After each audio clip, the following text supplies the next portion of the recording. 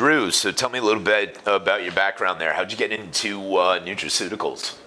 Yeah, so great question, John. And uh, TouchSuite has really granted me the opportunity to tie in a lot of different experiences that I've had in my life. So prior to getting my master's degree in business, I actually studied health sciences. So when I got into the payments game, it seemed like a really natural industry for me to go into, especially within the high risk merchant account sector. And again, it's kind of given me a, a, lens to lean into the industry that I feel like most people don't typically have just going the, the typical financial route uh, through education and then into the industry. So even with your background, like in this, you kind of got into it. You already knew what everybody was talking about, so you didn't have to go, oh, what's what's a nootropic or what's a whatever. Exactly, yeah. And I, I, mean, I've been a big fan and advocate for alternative health products my entire life. Uh, I grew up in Akron, Ohio, which is an area that has historically just been decimated by traditional medicine and, and opioids especially. So I've always had a, a special place in my heart for anything alternative wellness. So to be able to tie in that passion, my previous health experience, and then being able to help these business owners sell these products to consumers on the end, it's, it's been really powerful for me. What, what do you feel are like the big trends coming up in the industry? Because I mean, you've seen it from before the trends happened, but what are the you know what are the newest trends? yeah, so?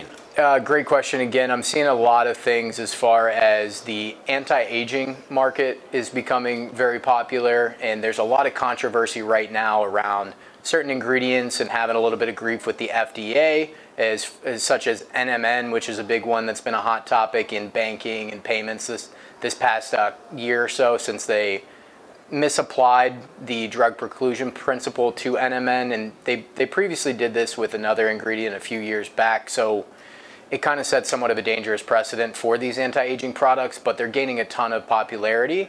And that kind of ties into the entire Nutri Cosmetics market as well. So people are looking for supplementation to be able to use as beauty products as well. So I'm seeing a lot of growth there.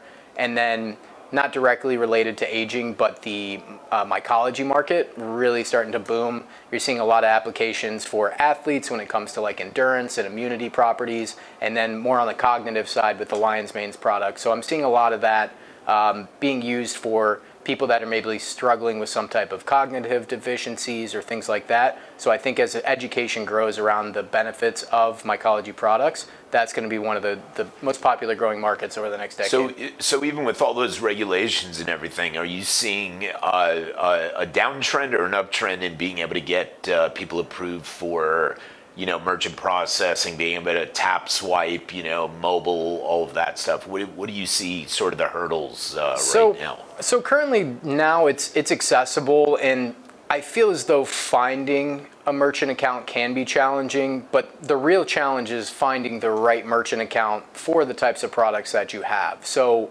what I found in speaking with people is that they don't have an issue when they get approved for the accounts. It's actually sustaining the accounts and having an organization and a bank on the back end that understands the products enough to be able to support and advise them on what is okay and what is not. So I, I find it more of a reliability issue with companies that are looking to take on new product SKUs or work with new ingredients and things like that. Anytime there's something new that comes out, if the banks don't know what it is or if they don't have an organization that's processing with an awareness of what those ingredients are, a lot of times people get skeptical and accounts just get shut down without any notice.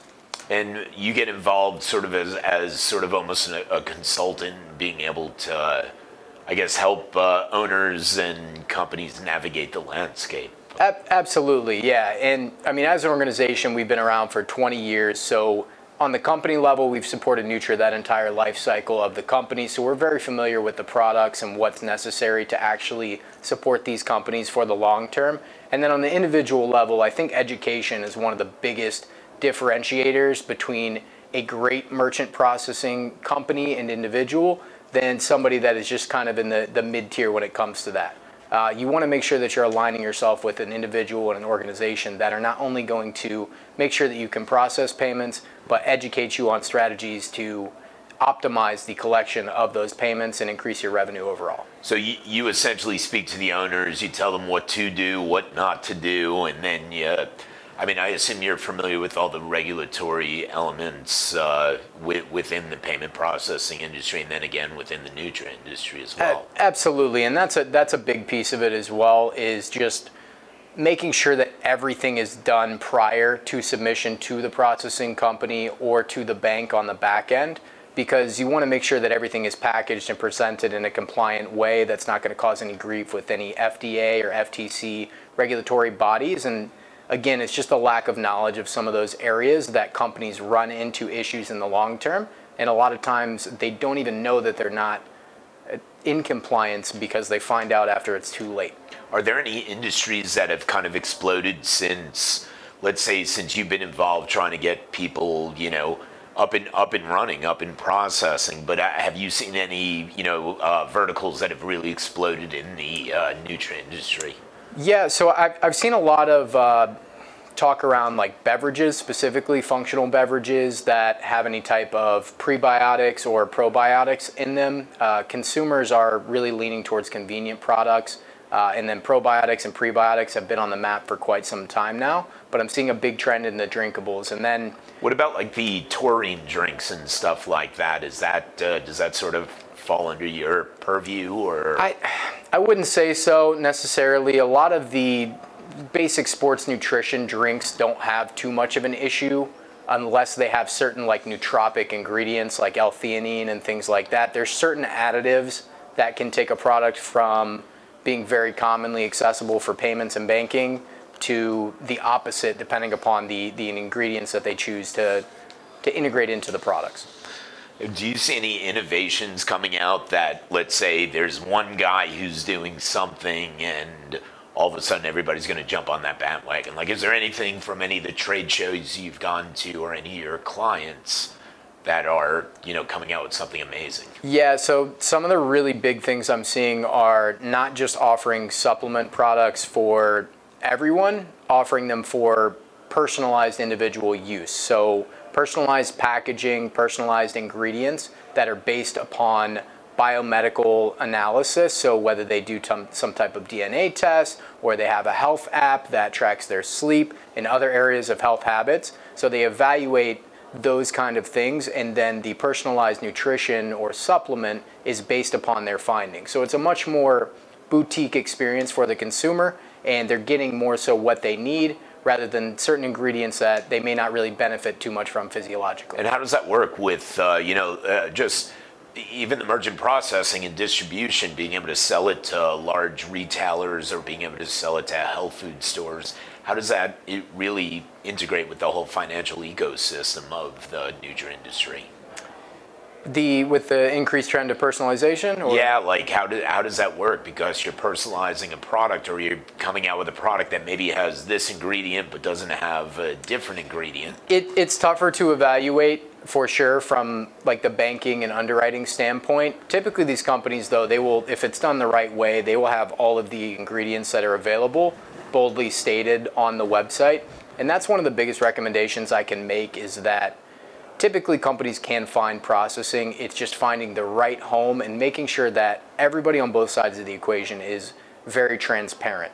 Uh, but to get back to the personalization at scale, especially in retail and wholesale, you don't see that as much. It's more on like the direct to consumer front on Right. e-commerce where people can go in, order their personalized stack of nutrition products, and then get those shipped directly to their door. And I've even seen some nice little trends of having individual names on packaging and things like that. So I think that's kind of a market that's really going to continue to grow is a more personalized approach to any type of dietary So that's mainly e-commerce that uh, you're working with in that regard. Do you do you uh, work outside e-commerce in the space? Is it uh, or is it really mainly e-commerce companies that you're dealing It's with? it's a lot of e-commerce, at at least where where I get involved. I mean, we do optimize with level two and level three transaction data on the B2B side. So anybody in Nutra, I'm either working on the wholesale side as far as them accepting payments for those wholesale orders, but a lot of time it's in the card not present portion of the game where they're selling directly to consumers.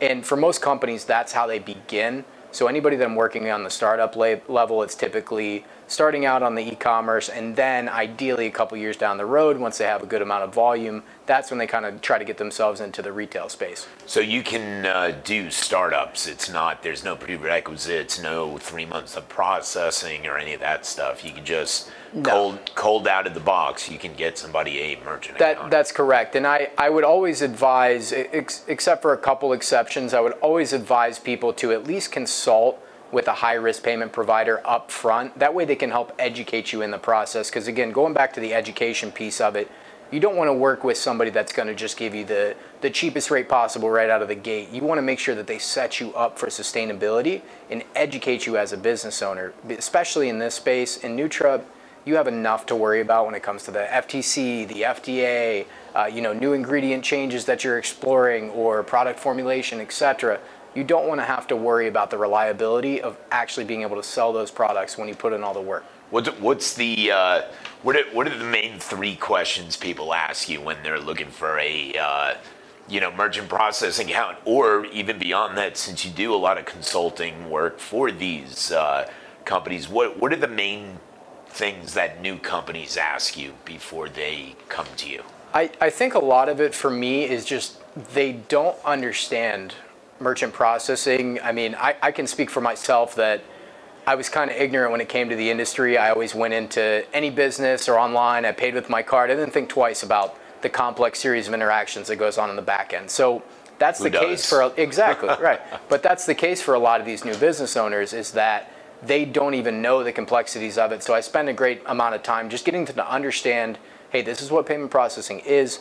This is why your business may or may not be considered high or higher risk because of X, Y ingredients and because of how the FDA or the FTC feels about it. So there's a lot that goes into it on the education side. And what do they what do they ask you? What do they you know? It's uh, how do I swipe a credit card? What's sort of the uh, questions? little little ask? more little more advanced than that but yeah just typically they, they want to make sure that they get set up the right way and a lot of times they'll be trying to, to shop different options they'll get conflicting information or if they have been in the business for a little while what you'll find is that if they've had negative experiences, which is common in the industry, they're very skeptical at first because a lot of people in this industry have made a lot of empty promises. So, again, I just encourage you to really make sure that you're comfortable with who you're working with and that you know, like, and trust that individual and that the company actually has the infrastructure to support you once you're aboard.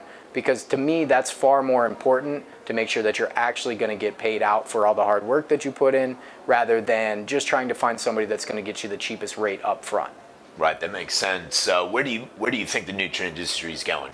Where if, if you had a crystal ball and you look 15 years ahead, what do you where do you think it's going? Oh, man. Are we going to become superheroes, or what's the? Uh, That that would be awesome. Uh, unfortunately, if that did become the case, I don't think uh, I don't think Big Pharma would allow us to to sell it under Nutra anymore, which is you're kind of seeing some of that with the NMN stuff right now. But I don't know. I think just uh, we're going to get better quality products. I think what I'm seeing a lot right now is that some of the the snake oil products the, with the research that's coming out and consumer awareness about more health and just overall access to information via the internet people are more, more informed now than ever so i think you're going to see a more educated consumer base that's really going to weed out some of the snake oil products and then you're seeing some really great companies step up to the plate like NOW Foods for example they're going out and they're product testing all these different supplements from different companies and brands and actually making sure that their COAs are matching up with their analysis and things like that. So if we keep having companies like that step up to the plate and just increasing the transparency, the only people that are going to survive in the industry are people that are genuine and actually care about the consumer on the end. so people uh, getting COAs from third-party companies that are completely unaffiliated is sort of what uh, where you think it's going to end up going. I, yeah, I think so. I just think everybody's going to become a little bit more educated and, and informed. And now the only negative side of that is, is with all this access to information comes access to a lot of misinformation as well. So I think again, as long as these great companies keep stepping up to the plate, actually selling good products, making sure they're legitimate, vetting the suppliers that they're getting them from, and making sure that they're upholding all the, the standards of the good manufacturing practices, then I, I think the industry is just going to increase as far as you know authenticity goes and products that are really benefiting consumers. So we'll be able to run uh, faster, jump higher, and think uh, clearer. I, I hope so. I mean, some of these, uh, especially some of the mycology products. I mean, looking at some of the research and, and personally using some of them myself. I mean, I've seen some tremendous benefits when it comes to just immunity,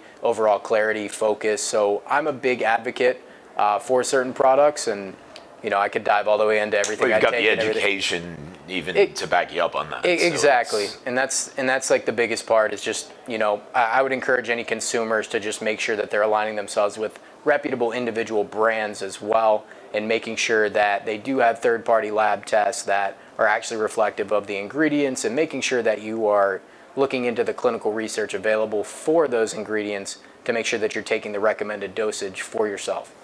Cool, man. Well, listen, thanks for sitting down with me and talking. I appreciate it. And uh, give you give your last pitch here on uh, your company and your abilities.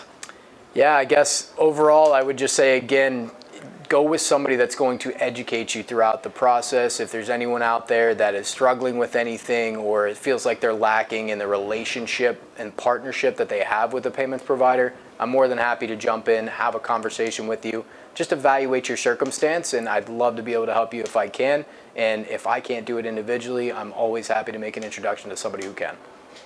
All right, thanks a lot, Drew. Appreciate it. Of course. Thanks, John. Thanks.